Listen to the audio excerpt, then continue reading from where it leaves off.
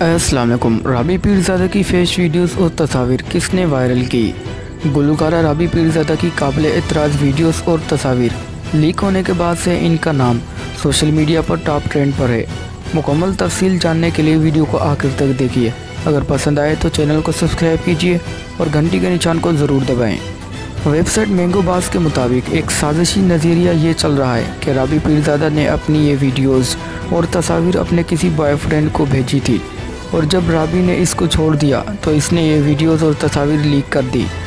کچھ لوگوں کا یہ بھی کہنا ہے کہ رابی کے سابق بوائے فرینڈ کے پاس اس کے آئی کلاؤڈ کا پاسورڈ تھا، جہاں سے اس نے یہ مواد لیا اور لیک کر دیا۔ ایک اور سازشی نظریے میں D G I S P R, major general Asif Ghafoor کو ملوث کیا جا رہا ہے۔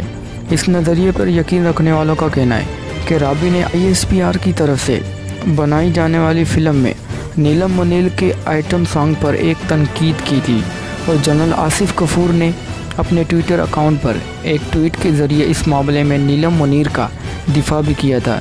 چنانچہ ان ویڈیوز اور تصاویر کے لیک ہونے کے پیچھے ان کا ہی ہاتھ ہے۔ اس بات پر یقین رکھنے والوں کے متعلق یہ بھی کہا جا رہا ہے کہ یہ دراصل بھارتی لوگ ہیں جو پاکستانی شناخت سے اکاؤنٹ بنا رہے ہیں اور پاک فوج کو بدنام کرنے کی کوشش کر رہے ہیں۔